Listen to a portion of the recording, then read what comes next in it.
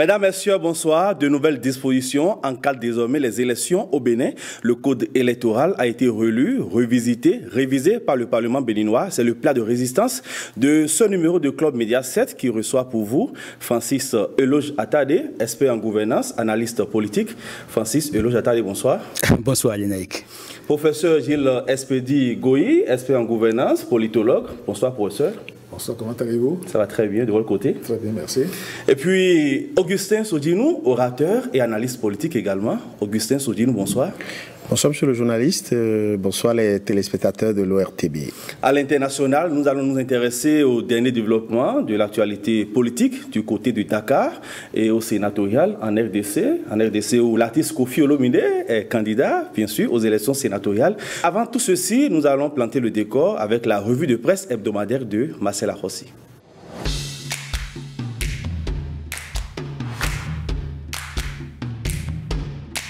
À la une cette semaine qui s'écoule au Bénin, le vote d'un nouveau code électoral. À peine accouché, ça crie déjà haut et fort l'exclusion. Le vote est intervenu à 0,3 minutes ce mercredi 6 mars 2024 après de vifs débats entre parlementaires, rapporte le matinal. Plusieurs amendements ont été apportés aux propositions de loi introduites quelques jours plus tôt. Les amendements proposés sont relatifs à l'augmentation du seuil de suffrage requis pour prétendre à l'attribution des sièges, de nouvelles dispositions pour les législatives, mais aussi et surtout pour la présidentielle. Tous ceux qui prétendent diriger le Bénin sont contraints désormais à avoir 28 parrainages pour la validité de leur candidature selon Info Matin. L'article 132 du test dit clairement que nul ne peut être candidat aux fonctions de président de la République ou de vice-président de la République s'il a été élu deux fois président de la République et a exercé comme tel deux mandats s'il n'est dûment parrainé par un nombre de députés et ou de maires correspondant à au moins 15% de l'ensemble des députés et des maires et provenant d'au moins 3 cinquièmes des circonscriptions électorales législatives, ce qui fait 28 parrainages exigés. Le test va plus loin pour préciser qu'un député ou un maire ne peut parrainer qu'un candidat membre ou désigné par le parti sur la liste de laquelle il a été élu, sauf en cas d'accord de gouvernance pour les législatives, seules les listes ayant obtenu désormais au moins 20% des suffrages valablement exprimés dans chaque circonscription sont éligibles à l'attribution des sièges, relève l'événement précis. Ce code électoral prévoit aussi le renouvellement bientôt des conseillers locaux et de villages à partir des résultats des élections communales de 2020. Les partis ayant obtenu le plus grand nombre de suffrages lors des élections locales dans le village sont éligibles à l'attribution des sièges. Il s'agit d'une stratégie pour confisquer le pouvoir et s'y installer durablement, selon Éric Ondete, soutenu par plusieurs autres de ses collègues du parti Les Démocrates, rapporte Info Matin. Pas question, réplique Barthélémy Kassa, Benoît Degla, Chantal Aïe, Sophia Tianou et autres. Pour eux, ce test vient assainir le paysage politique,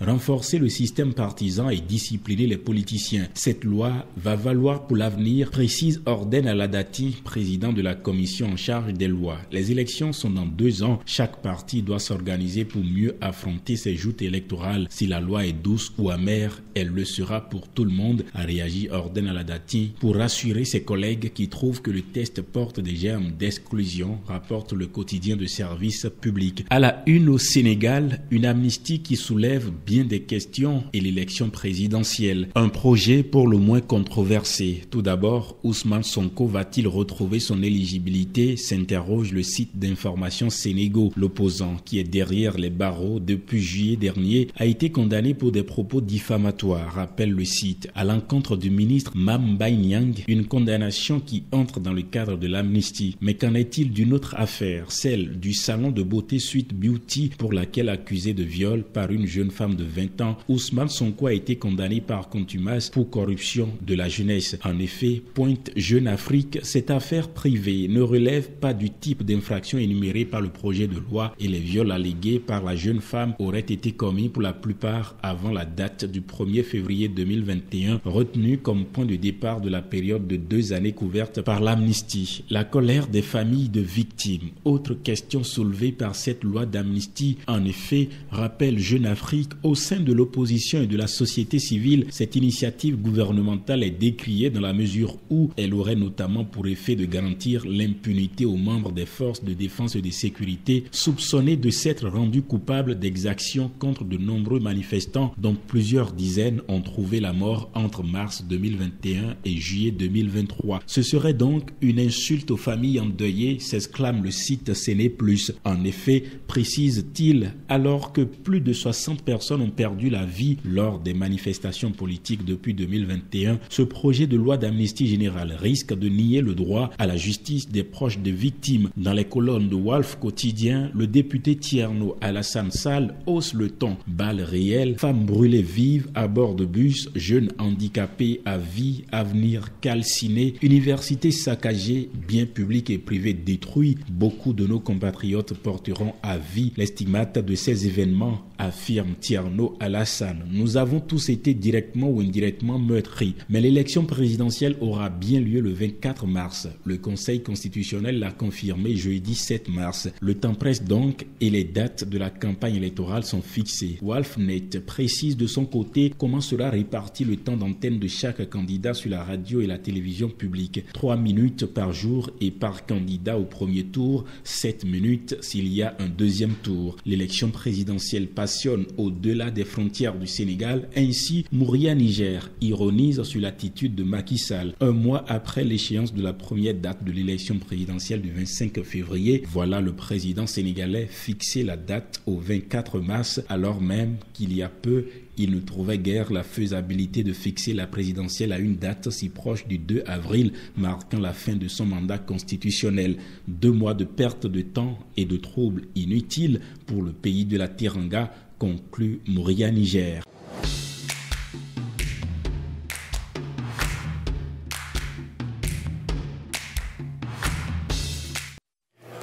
Merci à vous, cher Marcel Arossi, pour cette euh, mosaïque d'informations relayée par les canards parus au cours de la semaine. Place maintenant au débat en plateau, 7 jours au Bénin.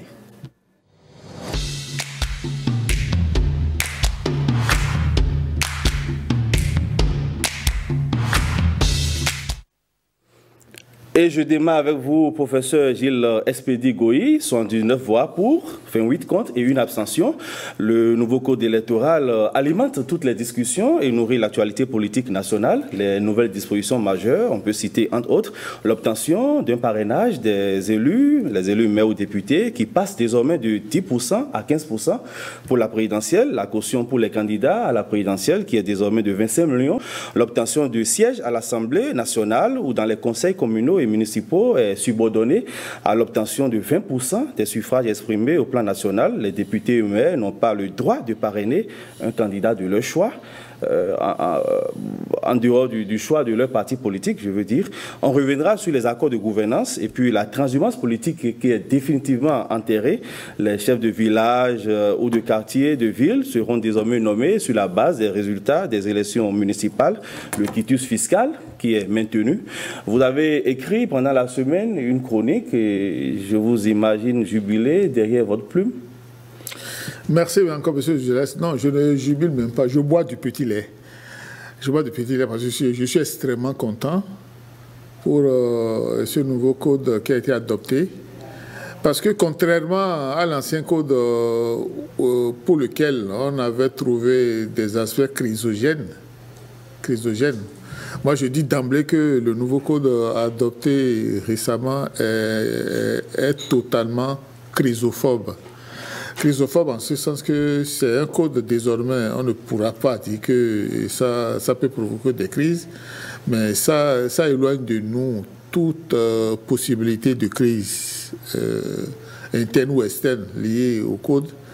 Mais l'avantage que ça présente, euh, ce sont les réaménagements pour renforcer d'abord le système partisan, mais pour le bien de notre démocratie qui va se renforçant, je me répète, Simplement parce que avec euh, les, nouvelles dispositions euh, discutées et validées du commun accord par le Parlement contenant toutes les tendances politiques, majorité, opposition, moi je crois que c'est de la performance, hein. c'est de la vitalité de la démocratie béninoise dont il s'agit et je suis vraiment euh, content par rapport à ça. Content surtout, et je termine cette partie, content surtout parce que nous, pouvons dire que nous, nous allons désormais définitivement conjuguer au passé la transhumance politique, où, euh, où, où, tout le monde était, était chef et en définitive, il n'y avait pas de chef. De telle sorte que moi, je crois que euh, j'avais des raisons de boire du petit lait, de jubiler comme je l'ai fait, simplement parce que je ne sais pas si j'ai bien entendu, mais il me semble même qu'il y a quand même des, des, des, des aspects de satisfaction pour les candidats, parce qu'il me semble que, que la caution a été divisée par deux. C'est-à-dire, c'est passé de, de, 50 millions à 25 millions, je crois, hein, je ne sais pas si je dis bien. Voilà, c'est passé de, de, 50 millions à 25 millions, ce qui fait que les candidats sérieux devaient être en train de jubiler. Bien entendu, euh, il faut de tout pour faire un monde. Hein. Pendant que moi je bois du petit lait, pendant que moi je jubilais des gens euh, habituellement grincheux ou grinchards, on continue de critiquer, trouver des montagnes là où il n'y a même pas de topinière en disant que c'est un nouveau code, euh, ce nouveau code est chrysogène. Donc moi j'affirme d'emblée que ce nouveau code, comme je l'ai dit dans ma chronique, ce nouveau code n'est pas du tout chrysogène, il est plutôt chrysophobe parce que ça nous permet d'avancer résolument pour euh, permettre aux partis politiques de jouer leur rôle constitutionnel, à savoir l'animation de la vie politique et le développement de ce pays. Et c'est vraiment très bien. Et, pour croiser les regards sur la question, Francis Lojatade, vous êtes un observateur averti de la scène politique béninoise. Alors dites-nous, en quoi ces nouvelles dispositions sont-elles vraiment opportunes et quels problèmes viennent-elles solutionner? Vous savez que le code de 2019, en fait, laissait le goût de l'inachevé parce qu'on avait posé un diagnostic. Le pays politique béninois était caractérisé par la création anarchique des partis politiques, par le mal transhumant, par l'hyperpuissance de l'argent. Ben, je crois que à travers la loi 2019-43 du 15 novembre 2019 portant code euh, en rue du Bénin, il y a des dispositions qui ont été prises qui sont perçues comme des chicanes et qui désormais ne permettent plus de créer facilement les partis politiques, puisque la vocation, en fait, du code, c'est faire en sorte que nous ayons de grands ensembles politiques. Et vous avez vu qu'à l'occasion de cette réforme intervenue au Parlement, c'est-à-dire suite à la DCC 24 001 du 4 janvier 2024, qui demandait aux parlementaires d'aller à la modification du code électoral pour arrimer l'article 142 du code électoral avec l'article 49 de la Constitution. Savez que dans la hiérarchie des normes, la Constitution est au-dessus du, du, code électoral. Alors, je crois que les députés ont recherché la solution législative à apporter à la Cour constitutionnelle. Et dans cette quête, ils ont posé un diagnostic, puisqu'il faut faire une analyse critique et holistique de la situation pour que nous ayons une solution définitive. Et à l'issue de ce vote, il faut convenir avec moi qu'en fait, tous les partis représentés au Parlement ont participé au débat. Et le débat s'est soldé par un vote 79 voix pour, 28 contre, et puis une seule abstention. C'est-à-dire que ce, ce, code consacre la volonté de l'Assemblée nationale de donner un contenu au renforcement en fait du système partisan. Et je retiens en fait quatre grands acquis. Premier acquis, c'est que à travers ce code, ce sont les partis politiques qui deviennent, les vrais acteurs de la gouvernance de l'État, en fait du Bénin, mais aussi de son développement. Premier constat. Alors pour porter cette vocation, c'est que les partis doivent avoir une envergure nationale. Dorénavant, on sait que euh, un leader régional ne peut plus faire prendre un parti en otage. Donc il faut être présent dans toutes les régions. Ça oblige en fait les acteurs à être plus représentatifs. Ça, avoir un parti d'envergure véritablement nationale Oui, à défaut d'avoir le maillage territorial, on peut aller à des accords de gouvernance. On, on va y contrôler. revenir. Maintenant, second acquis qu'il faut dire, c'est qu'on retient qu'à travers ce code, et les acteurs doivent développer un leadership. Et les partis doivent être plus représentatifs et couvrir le territoire. Maintenant, il faut avoir des appuis politiques sur l'ensemble du territoire. Troisième gain, c'est qu'il y a le mal transhumant, en fait, la prostitution politique que nous avons voulu combattre. À travers ce code, vous savez qu'un candidat ne peut parrainer que un autre, en fait, un membre d'un parti ne peut parrainer qu'un candidat de son parti. Ou s'ils doivent parrainer un candidat d'un camp adverse, c'est que c'est sur la base d'un accord de gouvernance conclu et déjà enregistré à la Sénat. Ça permet de lutter contre le mal transhumant, puisque en fait, les députés bénéficient de la confiance de l'électeur. Et il faut respecter en fait cette confiance de l'électeur. Quand l'électeur vote pour vous, vous allez au Parlement et que vous faites des virages, c'est que vous, vous trahissez en fait la, cause. On, aura le temps de creuser tout ceci en profondeur. Oui, Troisième gain, c'est que ce code n'est pas exclusif.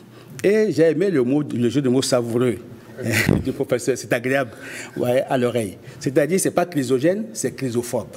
Hein, c'est assez bien dit, c'est si bien dit que même les littéraires que vous êtes peuvent célébrer ça. Ceci étant, c'est qu'on on, on retient que, écoutez, vous savez que ce sont les députés et les maires, en fait, députés de la législature et les maires en mandature, hein, qui sont en poste, qui vont parrainer. Donc, a priori, il n'y a pas d'exclusion pour l'élection de 2026. Premier constat. Deuxième constat, c'est qu'on a vu que la caution est trop forte. On était à 5 millions au départ, on est passé à 250 millions, on l'a rabaissé à 50 millions en mettant le parrainage qui devait être un, euh, fait, une chicane pour faire le filtre. Maintenant, je crois, à l'issue des débats, il y a des amendements qui ont été apportés. Et ces amendements viennent des députés du, de LD. Ah. Et on est revenu de 50 millions à 25 millions. Maintenant, au niveau des parrainages, on a corsé un peu le dispositif. On a relevé le parrainage, qui est allé à 15% pour le duo de candidature qui doit aller pour l'élection présidentielle. Et ces 15%, il faut qu'ils proviennent des 3 cinquièmes des circoncisions. Moi, je crois qu'on a mis des verrous pour faire en sorte que les acteurs soient représentatifs et que les partis véritablement témoignent de l'envergure nationale. Et ça participe de la consolidation de l'unité nationale on, va revenir à chaque point égrené. Augustin Sodinou, quelle est votre lecture de ce nouvel instrument qui régit donc désormais les élections en République du Bénin? Oui, ben, c'est avec grand bonheur hein, que au petit matin du mercredi 6 euh, mars 2024, les Béninois sont rendus compte du fait que le nouveau code est finalement voté au niveau de l'Assemblée nationale. Nous sommes euh, actuellement dans l'attente de euh, la conformité à la Constitution et à la promulgation, ce que nous souhaitons euh, de, tout cœur, que, ça puisse aller, aller très vite. je voudrais partir du contexte. Vous savez, le 5 mars, c'est pratiquement le lendemain euh, du rejet de la, de la révision de la Constitution.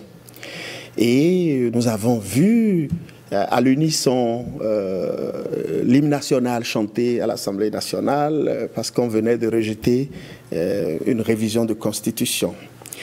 Et que, à, s'approcher, à, voir le contenu de cette relecture du code électoral, nous nous rendons compte que aussi bien les propositions de l'opposition et de la mouvance euh, se sont de façon géniale mises ensemble. Euh, j'en veux pour preuve cette question de quitus fiscal que euh, notamment les députés du Parti Les Démocrates n'en voulaient pas, ce qui n'est pas juste, ce qui n'est pas équitable, parce que nous avons besoin des ressources et le service fiscal a besoin aussi euh, de faire son travail. Que tu sois citoyen lambda ou que tu sois politicien ou que tu sois professionnel, journaliste, tout le monde, nous devons euh, satisfaire cette obligation pour construire notre, notre cité. Alors, euh, en s'approchant du, contenu, je me suis rendu compte qu'aujourd'hui, le test précise beaucoup plus les délais de traitement au niveau du, du service fiscal et appuie le fait que lorsque le service des impôts euh, demande à un contribuable de, payer des impôts qui restent, qui ne sont pas encore payés, que le service des impôts a l'obligation de faire cette demande en une seule fois. Et que dès que le citoyen paye ses impôts, le service des impôts est dans l'obligation dans, certains, dans un délai très court de 72 heures. Donc, je crois que normalement, les députés LD devraient avoir l'honnêteté de, parler euh, à nos concitoyens pour dire, franchement, ce que nous avons souhaité, le test a été amélioré et nous sommes beaucoup plus à l'aise. Mais malheureusement, ce que nous constatons sur le terrain, c'est la politique euh, politicienne, en ce sens que on scande tout le temps maintenant le mot exclusion. Et je ne sais vraiment à quoi cela euh, se retourne, puisque le code, c'est un seul code, unique, pour tous les acteurs politiques, pour tous les partis politiques. Comment se fait-il que ce texte qui s'impose à tous les partis politiques qui veulent bien participer aux élections générales de, 2026, comment est-ce que du coup ce code devient code d'exclusion pour l'opposition et en même temps, euh, la mouvance ne, s'en plaint. Euh, on aura le temps de revenir sur cet aspect du code, Augustin Sodinou, mais en attendant, je voudrais qu'on aborde certains autres axes essentiels de compréhension, la question des 20% par exemple, et la question relative à la représentativité nationale des formations politiques. Vous savez, ce code, de ma lecture, renforce la prépondérance des partis politiques. Normalement, un parti politique aspire à l'exercice du pouvoir central, du pouvoir exécutif. Ça ne sert à rien d'avoir juste un parti politique pour faire du marchandage politique. Nous en avions assez fait dans notre pays. Et nous saluons l'ingéniosité du président Patrice Talon, qui a eu le courage de faire des réformes dans ce secteur sensible. On a revisité la, la charte des partis politiques et Aujourd'hui, on a amélioré le code électoral que nous avions utilisé en 2019 pour que ne vienne qu'à la politique désormais qui peut. Ce n'est plus le terrain facile où on peut faire du raccourci juste parce qu'on a envie de, s'enrichir ou juste qu'on a envie d'avoir une certaine influence. C'est un monde désormais où vous mesurez l'importance de la responsabilité du rôle que vous avez envie de jouer dans la cité. Ce qui fait que l'invitation du chef de l'État qui demandait à ce que tout amendement qui devrait toucher euh, au renforcement, en fait, qui devrait aller euh, en opposition au renforcement du système partisan, que cela ne ferait pas du tout, euh, ne trouverait pas sa caution. Alors, lorsque nous allons dans le renforcement du système partisan, l'héritage que je pense, politique que je pense que le chef de l'État a envie de laisser pour ce pays, pour que le monde de la politique aussi soit assaini, que le monde de la politique aussi soit un milieu où les choses se, se font selon la règle de l'art. Je crois que c'est dans cette dynamique que ce code qui est voté, adopté par le Parlement béninois aujourd'hui, s'inscrit pour permettre à ce que la représentativité au niveau de la circonscription électorale soit élevée à 20%. Et j'ai eu à entendre que la Constitution euh, a dit que c'est 10%. non, non, non, que le taux, sera, le taux sera déterminé par la loi au plan national. Et j'estime simplement que le national, le plan national, c'est l'ensemble des circonscriptions électorales.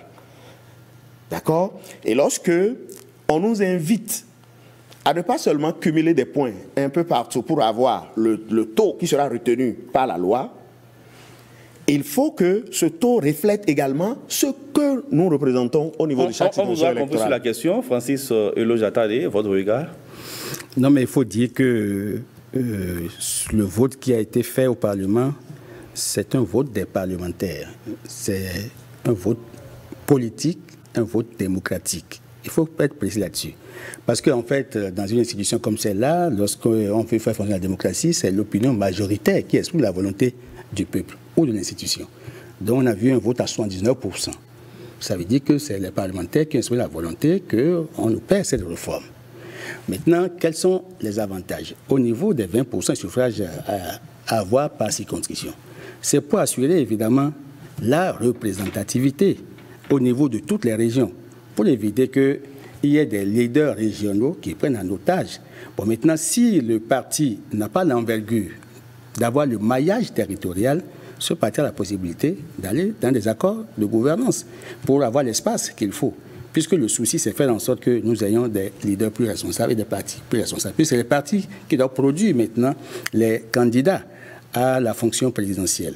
Alors tout citoyen qui aspire euh, à diriger ce pays, à diriger le Bénin, c'est désormais qu'il doit développer un leadership, mais aussi il doit avoir des appuis politiques sur l'ensemble du territoire. Ça, c'est une vocation euh, du code qu'il faut savoir. Maintenant, il y a des efforts qu'il doit être faits. Vous savez que depuis un moment, la vie politique est plus ou moins contrôlée parce que l'État a mis en place des fonds publics, le financement public des partis politiques. Dorénavant, c'est que les activités des partis politiques sont financées par l'État, les partis sur la base de critères. Alors, les partis qui bénéficient de ces financements publics ont des efforts à fournir. Puisque si nous devons travailler à l'unité nationale, à la cohésion nationale, pour nous assurer que le développement est équilibré, il faut bien que vous ayez un regard plus large, plus ouvert, plus panoramique sur l'étendue du territoire national. C'est des efforts. Et puis, nous sommes à deux ans des élections de 2026. Et là encore, c'est qu'il est possible que nous fassions des efforts. Mais pour 2026, il n'y a pas du tout d'exclusion les efforts que les partis feront. On va revenir sur la question relative à l'exclusion ou à l'inclusion. Professeur Gilles Espédi Goyi, je vous voir prendre note? Oui, oui. En fait, euh, comme l'a dit M. Attali, c'est effectivement plus de 70%. Plus de 70% qui ont accepté royalement ce nouveau code. Donc c'est une victoire éclatante. Vous avez posé la question de savoir euh, si ce pourcentage était, si j'ai bien compris, était vraiment approprié, si c'est celui-là qu'il fallait. Je dis d'emblée que c'est ce pourcentage qu'il fallait, simplement parce que, contrairement à ce que certains avaient commencé par dire, j'ai vu notre ami, je ne vais pas dire son nom, il est suffisamment connu pour euh, ses, refus, à savoir que non, ce qu'on a fait, ce n'est pas valable parce que la société civile n'a pas été associée. J'ai dit, mais voilà euh, les amalgames que nous avons toujours combattus. Non, plus sérieusement, l'objectif du système partisan, et mes deux collègues euh, ont rappelé ça, L'objectif principal, c'est de faire des partis politiques euh, des entités fortes des organisations suffisamment puissantes pour euh, propulser le développement de ce pays dans l'animation exclusive de la vie politique. Désormais, l'animation de la vie politique, c'est déféré, c'est reconnu, c'est marqué de, de, de par les partis politiques. Et les, députés ceux qui ont fait le travail ont été suffisamment clairs. Désormais, là, quiconque veut diriger ce pays doit nécessairement passer par le filtre. C'est formidable. C'est si formidable que quand j'ai remarqué quelque chose que je vais vous dire, euh, je, dis je suis vraiment fier d'être béninois et je suis content pour ce pays. Si vous avez remarqué, au refus du projet de recevabilité du, du projet de révision de la Constitution, l'hymne national a jailli. Je crois Tadé l'a rappelé. Ou bien c'est Danjirou qui a rappelé. C'est très bien, les gens étaient contents, c'était la liesse totale. Moi, j'ai remarqué, vous l'avez remarqué aussi, que à l'adoption de ce nouveau code euh, électoral, l'hymne national a encore jailli. Ça veut dire quoi? Ça veut dire que le béninois est ce qu'il est. Pour lui, l'âme du plus grand bien est encore celle du plus grand mal. L'âme du plus grand bien est encore celle du plus grand mal. L'hymne national a été chanté avec allégresse quand ce projet de recevabilité de la révision de la Constitution a été rejeté, c'est très bien. De la même manière, pour montrer que le, le bien peut succéder au mauvais, cet hymne a encore jailli. Puisqu'on a plusieurs points à, aborder, je euh, reste avec vous pour rebondir sur la question de la transhumance politique, le charme de ce code, qu'ils sont désormais le glas des infidélités politiques, du mm. nomadisme politique et de la prostitution politique. J'adore ce mot, la prostitution politique, parce que c'est de cela dont il s'agissait, la prostitution politique. C'est-à-dire que, les, je m'excuse du peu, mais les politiciens s'offraient aux plus offrants encore que dans, un, dans une dynamique de prostitution normale, euh, le, le, taux est codifié, le montant est codifié. Pour dire quoi? Pour dire que désormais, là, que tu sois le plus beau candidat, le, le, candidat le plus juteux, tu ne peux plus aller à gauche ou à droite comme tu que le fait, c'est fini, c'est définitif. Un. Deuxièmement, cette interdiction de la transhumance politique donne désormais toute la force nécessaire, toute la préance nécessaire aux partis politiques euh, sur leurs militants. Parce que les militants se comportaient, et c'est que tout le monde était chef et en définitive, il n'y avait pas de chef. Les, chefs de partis politiques euh, ont désormais tout leur rôle régalien à jouer. Ce qui me permet de dire d'emblée que deux ans, ça paraît beaucoup, mais c'est peu. Deux ans, c'est déjà à côté. Il revient déjà aux militants de partis politiques et surtout aux responsables de partis politiques de sonner dès à présent la mobilisation ou la remobilisation de leurs militants pour qu'on ne pense pas que deux ans, on a le temps de pavaner. Non, c'est maintenant qu'il faut commencer à travailler si on veut rendre honneur et hommage à ce Il, il faut commencer à travailler maintenant. Augustin Sodinou, je reviens maintenant à ce sujet qui vous est apparemment vraiment cher, la question de l'inclusivité. Oui, euh, à travers le code, euh, on se rend compte avec aisance que l'exclusion n'est plus d'actualité de telle enseigne que les parties prenantes, ça veut dire les partis politiques euh, présents au niveau de l'Assemblée nationale, se retrouvent dans, la formulation des articles de ce code.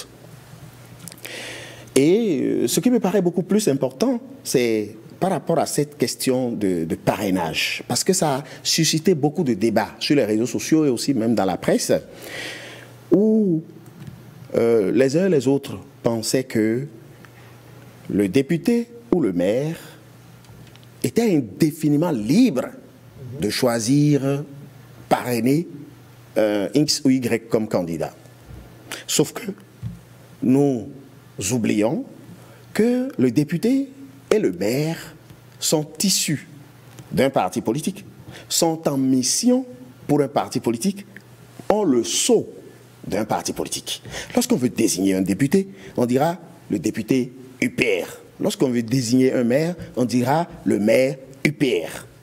Alors, avant d'accéder à ces postes, il a été candidat, porté par ce parti politique. Ça veut dire quoi? Ça veut dire que des responsables de ce parti politique ont porté leur choix sur lui, qui n'était pas même seul à être candidat à la candidature. Mais le parti a porté son choix sur lui. Mais subitement, subitement, puisque le monsieur devient élu, devient député, devient maire, on veut lui coller une possibilité d'une liberté infinie. Ce n'est pas juste, ce n'est pas normal. Et au jour le jour, nous nous apercevons des insuffisances qu'il y a à nos tests et on les renforce. Et je peux vous assurer que la jeunesse, le peuple béninois tout entier qui s'intéresse à l'actualité politique, jubile après ce vote après le vote de ce, de ce code électoral. Car euh, des gens sont dans les sillages de l'appareil euh, gouvernemental depuis le temps du président Kérékou. Parce qu'il suffit que tu fasses tes 10 ans et les gens, ils retournent la veste en même temps. Dès que tu as fait 10 ans, ils ont même le courage de te dire en face, toi, c'est fini. Et donc, au plus offrant, en même temps, ils sont prêts à partir. De telle enseigne que on ne voit plus la conviction, on ne voit plus l'éthique politique. Des gens qui étaient opposés hier se retrouvent aujourd'hui encore avec euh, celui qui était opposé à celui avec qui ils étaient hier. Et, sont, ça, continue. Ce code a réglé définitivement ce problème et a donné la chance à la jeunesse, j'arrive s'il vous plaît, et a donné la chance à la jeunesse d'espérer. Lorsque vous êtes dans ce camp, vous restez dans le camp. Vous êtes obligé de parrainer le candidat de votre parti. Vraiment bravo à ceux qui ont fait le test. Et aussi, j'ai noté que pour les élections, pour l'élection présidentielle de 2026, on va déposer les, dossiers pour ceux qui veulent aller euh, à l'élection présidentielle 180 jours avant. Puisqu'il y avait un vide, nous, on avait toujours dit. On va y aller rapidement. Pourquoi, pourquoi les candidats aux élections présidentielles n'ont pas suffisamment de temps? Pour pouvoir parler, pour pouvoir se faire découvrir, pour pouvoir se faire connaître. Mais aujourd'hui, désormais, c'est réglé. Francis en quoi ce code n'est-il pas porteur de gêne d'exclusion Mais écoutez, vous savez qu'à l'occasion du vote euh, de test constitutionnel, où euh, en fait ça pu pas, ça, ça, le test n'a pas pu passer la première étape de la recevabilité, il s'est susurré, il s'est susurré dans la masse qu'il y avait des tentatives de manœuvres pour débaucher certains députés LD. Et il y a eu plusieurs réunions qui se sont tenues avec le président Boni Yahi pour qu'il fasse l'option, évidemment, du vote par procuration. Vous comprenez bien qu'avec ce code, c'est plus possible de faire un débauchage. Donc, désormais, le député ou l'élu doit fidélité à son parti. Nous gagnons dans la lutte contre la transhumance, contre le nomadisme politique et contre tout ce que la procédure politique dont vous, vous parlez. Il n'y a pas d'exclusion parce que tous les partis qui sont en capacité d'aller aux élections 2026 ne sont pas exclus. Il n'y a pas d'exclusion parce que même le code relevé, en fait, le, suffrage, de, en fait, le, collège de, de, parrains est désormais évalué à 15%, ça fait 28 députés. Il se fait aujourd'hui que les démocrates ont 28 députés. Donc ça ne pose a priori aucun problème. Le BR a 28 députés, couplés avec les maires. En fait, ils, ils en auront plus. L'UP, le renouveau, a plus de députés, plus de maires. Donc, les questions, même euh, FCBE a des maires. Donc, ça fait que la question, il n'y a pas d'exclusion. Les partis pourront compétir. C'est pourquoi ce code n'est pas exclusif. Ce n'est pas une démocratie d'exclusion. Ce code est, travaille pour l'inclusion, mais pour la grande représentativité. La vocation, c'est que nous avons des partis à envergure nationale. C'est tout. Maintenant, un, dernier tour de table pour finir avec le sujet. Professeur Gilles Espedi Goyi, l'achat des partis politiques interdit les alliances aux élections, mais avec ce code, nous avons la possibilité des accords de gouvernance. De quoi cela retourne? Très bien. Les accords de gouvernance, euh, je veux simplement expliquer ça par euh, une mesure ponctuelle. C'est-à-dire, c'est une autorisation ponctuelle, euh, c'est une alliance. Oui, non, c'est pas une alliance. le mot alliance, c'est trop fort. C'est-à-dire, comment je vais dire C'est un accord. C'est un accord. C'est-à-dire, euh, ponctuellement, là, nous nous mettons d'accord pour euh, faire un bout de chemin ensemble. Arrivé à destination, chacun prend sa mobilette, chacun prend sa voiture pour revenir à la maison. C'est de cela dont il s'agit. Qu'est-ce que ça veut dire? Ça veut simplement dire que nous sommes en train de montrer à travers euh, ce dispositif la, nécessité d'une unité nationale, l'entraide et la solidarité nationale. Ce qui fait que j'avais pensé que euh, un, de nos partis qui se réclame de la grande solidarité nationale devrait applaudir cette partie-là, mais tel n'a pas été le cas. Donc il ne s'agit pas d'une alliance, c'est un accord. Nous nous entendons ponctuellement. Nous faisons un bout de chemin ensemble. C'est un accord comme l'a dit euh, le test, c'est un accord de gouvernance pour montrer que nous sommes peut-être adversaires politiques, mais nous ne sommes pas des ennemis politiques. Ça, compris. vous avez la même perception de cette notion? Euh, Oui, bon, mais peut-être en d'autres thèmes. Je pense que l'accord de gouvernance, c'est, c'est un contrat, d'accord, où deux entités politiques euh, s'accordent sur une manière de conduire des affaires publiques. Et euh, je voudrais remonter plus haut en disant que, que ce soit la société civile, que ce soit les acteurs politiques, le, Bénin, le Béninois, nous avons toujours dénoncé notre marche solitaire dans nos entreprises. Et on a toujours de tout le vœu souhaité la, la, la possibilité de marcher ensemble. Parce que euh, on dit, euh, quand, l'union fait la force, voilà. Quand, on est plus nombreux, on peut faire de grandes choses. Voilà des dispositions aujourd'hui qui euh, nous encadrent et qui nous encouragent à aller ensemble. Donc en principe, à l'unisson, tous les Béninois devraient se retrouver dans ce qui se, se passe aujourd'hui. Nous voulons juste attirer l'attention des uns et des autres sur, lequel, sur le fait que le code qui vient d'être voté est vraiment un instrument de paix, un instrument de transparence électorale, un instrument qui va nous permettre de faire grandir notre démocratie et de continuer d'être la lumière dans la sous-région. Francis attendez, à quoi fait-on allusion quand on évoque euh, la question des alliances, pardon, des accords de gouvernance? Oui, mais je veux faire observer qu'il est dit clairement que euh, un élu ne peut pas parrainer un autre candidat euh, autre que celui de son parti. Mais dans l'hypothèse où il y a un accord de gouvernance, vous pourrez parrainer un candidat d'un parti signataire de cet accord de gouvernance. Donc, ça permet de mutualiser les efforts pour être en capacité d'être plus représentatif. Donc, nous nous complétons. C'est l'avantage qu'on a à avoir des accords de gouvernance. Donc, je crois que c'est salutaire. Et il faut rappeler que depuis 1990, nous en sommes maintenant à la 28e loi électorale. À part celle en, 2013, on a créé, on a fait le code, on a adopté le code la loi 2013-6. Mais on a vu que cette loi avait des problèmes. On est venu en 2018, on a fait une série parlementaire. En 2019, on a adopté euh, un code. Et puis aujourd'hui, on a dit qu'il faut quand même corser pour que nous puissions assainir, simplifier le paysage politique, pour que ceux qui animent soient les acteurs majeurs et que les partis soient de grands ensembles politiques, puisque désormais il y a le financement public qui accompagne. Je crois que c'est salutaire, il n'y a rien d'exclusivité. Ce code est inclusif, ce code permet d'avoir des leaders responsables, plus représentatifs, et les partis ont l'obligation de faire davantage d'efforts pour couvrir l'ensemble du territoire.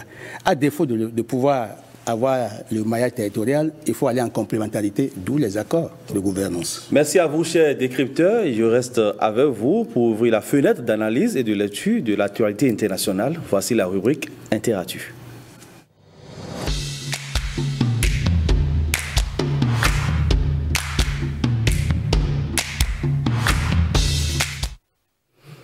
Interatu, nous nous intéressons à l'actualité sociopolitique au Sénégal. Augustin Sodinou, après le report de la présidentielle qui a plongé le pays dans l'incertitude, Macky Sall annonce la date euh, du scrutin pour le dimanche 24 mars. Les sages du Conseil constitutionnel suggèrent plutôt le 31 mars. Un ping-pong qui ne dit pas son nom. Oh, euh, Macky Sall, euh, qui vraiment s'est illustré ces derniers temps de la façon la peu glorieuse qui puisse exister. Mais nous rendons grâce à Dieu que le Conseil constitutionnel du Sénégal a quand même pu euh, réveiller les choses et veiller au grain. Euh, je crois que ça relève quand même des prérogatives du président euh, sénégalais, selon les tests qui sont en vigueur chez eux, que c'est le président de la République qui convoque le corps électoral. Alors donc, il est dans ses prérogatives en convoquant pour le 24.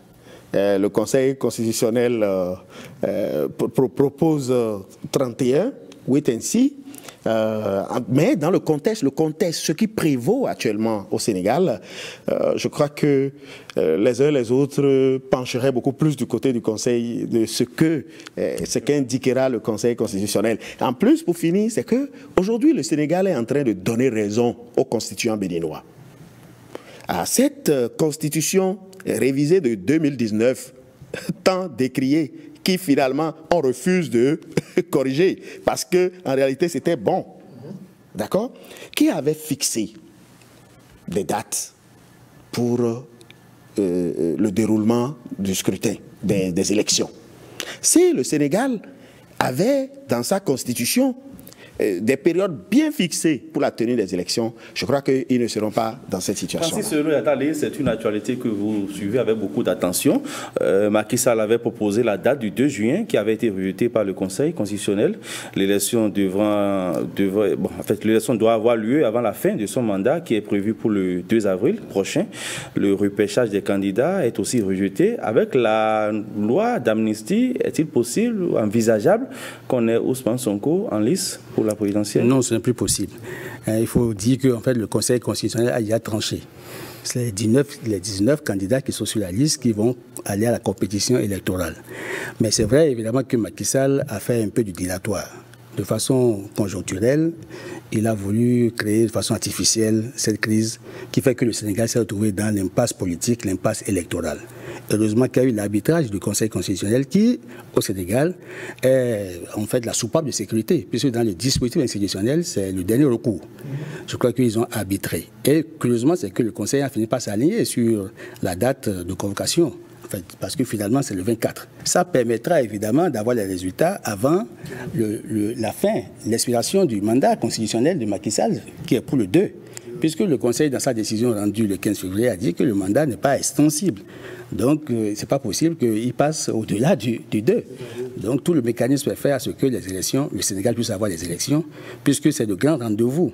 Et vous savez que dans les démocraties comme les nôtres, ce sont les élections organisées à bonne date et l'alternance au pouvoir qui sont les mamelles nourricières des démocraties en Afrique. Donc, doit faire en sorte que. Elle cite aussi les possibles deals politiques euh, que Maki entrevoyait avec Karim Ouad Oui, si, parce que écoutez, cette, cette affaire qui a été orchestrée, vous avez vu que c'est parce que Karim Ouad, qui a la binationalité, puisqu'il est depuis 1968 et puis sa mère française, quand on l'a disqualifié, le temps qu'il prenne, euh, qu'il prenne les actes qu'il faut pour annuler sa nationalité française, et je crois que le le, délai a expiré.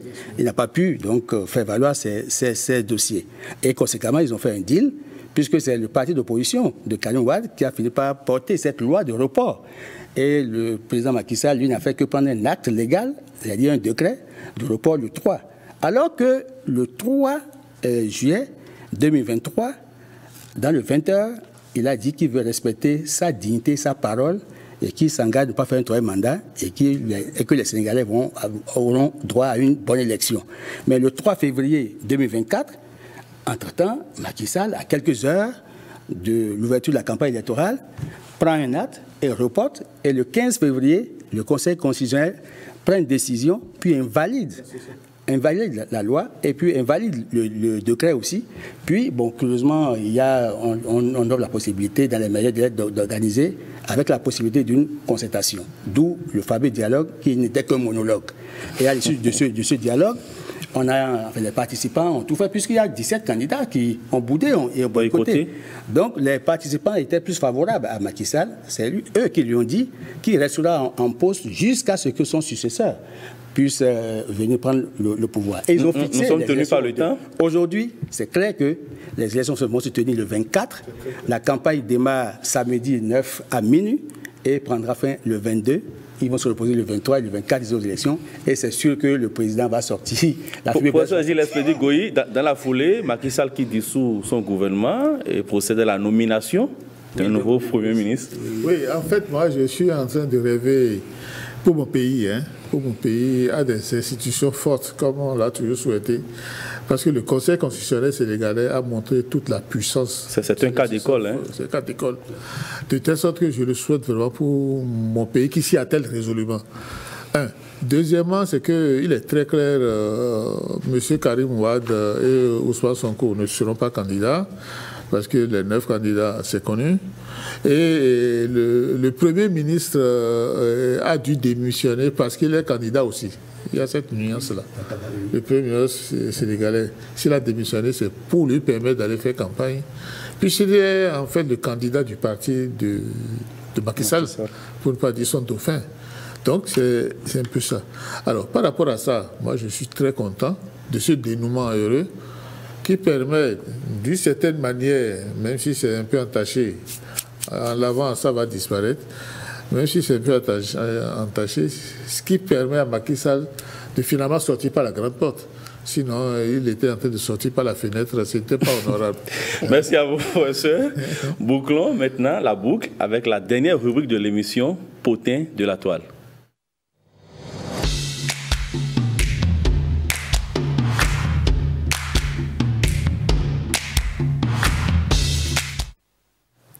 Et je reviens à vous, cher Francis euh, Elojatade. L'actu sur la toile cette semaine, c'est l'artiste congolais Kofi Olomine, le grand Mopao, le roi du Tchacho, qui est donc candidat au sénatorial en RDC. Alors, la question que moi je me pose, euh, la notoriété artistique est-elle convertible dans le champ politique? Les fans pourraient-ils constituer un bétail électoral? Vous aviez vu au Libéria euh, un footballeur de renom qui est devenu président de la République, parce qu'il a eu une aura qui a impacté. C'est pas exclu, c'est le pouvoir et le destin. Vous ne pouvez pas savoir ce que le destin vous réserve. Donc on ne peut pas dire qu'il ne peut pas avoir des ambitions. il faut lui reconnaître le droit d'avoir des ambitions. Maintenant, il y a, en fait, il y a des fans qui l'écoutent. Et des gens ont plaisir à suivre sa musique. Il veut peut-être capitaliser cet électorat et le reverser en politique. Je crois que c'est un peu sage, c'est un peu, un peu malin, et je crois qu'il n'a pas fait le mauvais choix, puisqu'il n'a fait que côtoyer les, les, acteurs politiques et les meilleurs amis du président congolais Sassou Nguesso qui aime d'ailleurs bien sa musique. À l'occasion des, des, grandes réjouissances, je crois que Sassou Nguesso l'invite pour qu'il vienne lui jouer quelques morceaux. Nous sommes ici en RDC. Non, je sais. Je veux pas, je parle de, de l'artiste. D'accord. Oui. L'artiste, il a des amis président. Oui. Alors, à force de fréquenter les présidents, vous êtes tenté hein, de, de, faire une carrière politique. Vous, vous, comprenez bien. Donc, je dis que l'artiste a bien fait. C'est peut-être euh, la carte du destin, mais c'est les calculs politiques qu'il a dû faire. Il veut capitaliser cet électorat pour le convertir en politique. Certainement que ça va lui sourire, tant mieux. Mais on a vu des gens qui, vous avez vu en, Ouganda, le président Idi Amin Dada, il, était quoi? Bon, alors, Autant qu'ils sont, donc je ne veux pas interroger l'histoire, enfin le passé des, des, grands hommes. On peut partir de rien. On a connu le président malgache aussi, André Rajolina, qui était DJ. Mais oui, si voilà, donc euh, écoutez, donc ça, ça, peut arriver. Donc je, je lui, il faut dire que les acteurs politiques, c'est pas forcément euh, dans les CELAI, c'est pas forcément les écoles, les écoles de Sciences Po qui forment les acteurs politiques. Parce que la politique, c'est un parcours initiatique. Moi, je l'ai Volodymyr Zelensky. Ah ben oui, si acteur de cinéma. Donc, euh, je, je, professeur Gilles voilà. j'ai suivi contre le monde. Les, sénatoriales en RDC sont prévues pour le, pour le 31 mars. La campagne couvre la période du 27 au, 29 mars.